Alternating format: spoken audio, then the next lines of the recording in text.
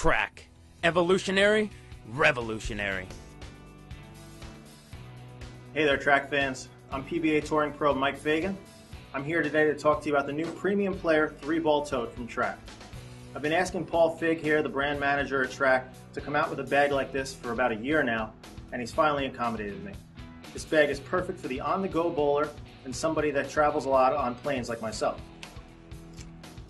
The reason why this bag is so nice is because of the accessory pouch. Clips onto the top, carries your shoes up to a size 15, has a ventilated hole to keep your shoes nice and fresh, nice big accessory pouch. When you get to the top of the bag, you see that it has a clear top. All right, you won't have to go digging through the bag to find every ball that you want to get. The bag also has a shoulder strap. In case you're dealing with a lot of stairs, you can just pick it up. Or a pull handle that's adjustable. And if you want to drag the bowling balls by the wheels, it's got a nice sturdy base. And it's perfect for getting on planes. 15 pound bowling balls will stay under 50 pounds and you'll be able to travel without the excess baggage fees.